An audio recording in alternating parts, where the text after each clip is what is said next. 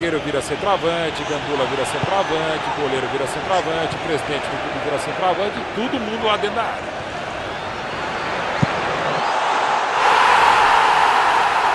Cristiano Ronaldo marcou um golaço. Agora tá tudo igual de novo. Se o goleiro pegasse essa bola aí, iam afundar ele pra dentro do gol. O goleiro não tinha o que fazer com essa bomba, com essa pancada.